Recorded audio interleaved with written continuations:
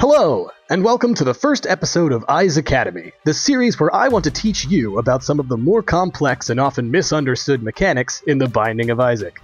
Today's episode is focused on the Devil and Angel rooms, specifically on the mechanics underlying when they appear. Let's start by talking about the Devil Room. The Devil Room is a room that provides the player with an opportunity to purchase powerful items at the cost of red heart containers or soul hearts. The item pool for the Devil Room is mostly focused on offensive boosts, providing the player with additional damage or opportunities to deal extra damage in some way. But a few items that can appear in the Devil Room do not provide such a bonus, but are powerful nonetheless. The most direct route to getting a Devil Room is through the use of the Joker card, which upon use immediately teleports you to the Devil Room on whatever floor you're on. Upon exiting the Devil Room, you will find yourself at the start of the floor. Occasionally, red chests will also instantly teleport you to the Devil Room in the same fashion as the Joker card. Beyond that, things start to get a little tricky. There are a number of factors that influence whether a Devil Room will spawn naturally on a floor, and it is these factors that people often have trouble figuring out. First and foremost, there are a few floors where a Devil Room cannot naturally appear. These are the Basement 1, Sheol, the Cathedral, and the Chest. Basically, the Devil Room won't spawn on the first floor of a run, and won't spawn past the womb, so don't get stuck thinking you'll get lucky on those floors. When you start a floor that can spawn a Devil Room, your probability of spawning a Devil Room is set to a base of 1%. There are then a number of factors that go into determining whether a Devil Room will spawn on that floor or not. A number of items can increase your chances of obtaining a Devil Room. The pentagram, for example, adds 20% to your probability upon picking it up. Additionally, you can actually get multiple pentagrams in one run if you are exceptionally lucky, and in which case, the maximum benefit you can get from pentagrams is 30%. Having the Book of Revelations in your possession adds 35% to your probability. Having the Book of Belial in your possession adds 25% to your probability. However, hold your horses, Judas lovers. He doesn't benefit from this bonus, so you don't get an automatic 25% bonus for starting as Judas. Sorry, Judas. Another factor that can play into your probability is beggars. Both Judgy and the Shell Game Beggar can be killed and provide a 35% bonus for that floor. This doesn't add up for each beggar you kill, so the total benefit from this can only be 35% bonus probability. So don't try going on a Judgy killing spree.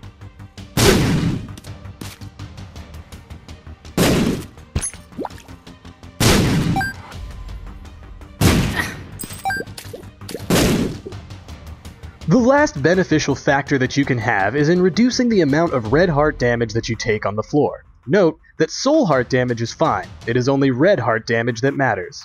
So, by taking no red heart damage on the boss fight, you confer yourself a 35% bonus to your probability. However, if you can take no red heart damage on the whole floor, then you get a 99% bonus to your probability. It is important to note that self damaging items that use red hearts did not count as red heart damage. So, go ahead and use those demon judgments, razor blades, and bad trip pills without affecting your chances of getting a devil room.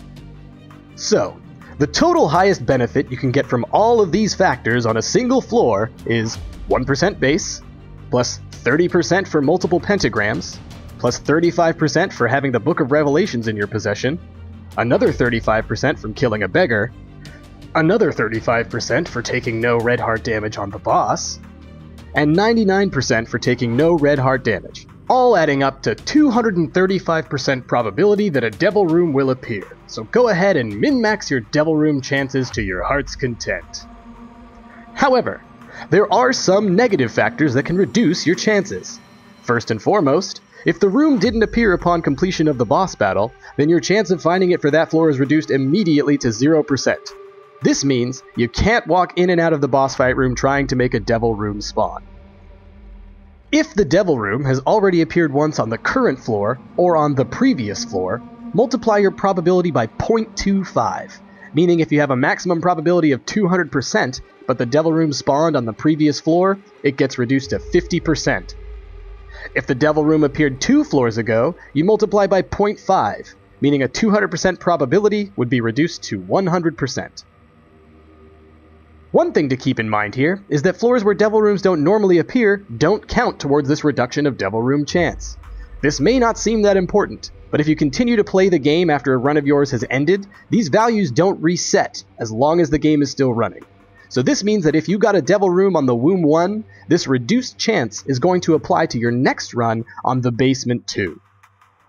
One reason this can be really important has to do with angel rooms, which we will discuss next. The Angel Room is a special version of the Devil Room, which provides a powerful item at no cost to the player. These items often boost defensive capabilities by providing additional Spirit Hearts or protection from damage, but they can also be offensive as well. Spawning an Angel Room follows all of the same rules as the Devil Room, with a few added parameters. First, a deal with the Devil Room has to have spawned at some point since the game has been launched. Second, no deals with the devil can have been made in the current run. If both of these parameters are met, the next devil room that spawns has a 50% chance of spawning as an angel room instead. So, if you've made a deal with the devil in a previous run while the game has been launched, both of these parameters can still be met. The devil room can have spawned in a previous run since the game was launched, but the current run can still be free of any deals with the devil, giving your next Devil Room on the new run a 50% chance of being an Angel Room. This gives you a lot of incentive to play the game multiple times in one session, as the free Angel items are certainly a boon. One final trick to consider. A Devil Room can spawn after the fight with Mom, but you won't be able to access it by default as the room is sealed. However, if you can teleport yourself out of the room, you can then re-enter and the layout will be a traditional boss layout, with entrances and exits and, if you're lucky, a devil room. Thanks for watching this first episode of Isaacademy. I hope you enjoyed it and learned something. Please let me know what you think in the comments below, as well as suggestions for future Isaacademy videos. And don't forget to like, favorite, and subscribe to the channel to be sure to see all future Isaacademy videos.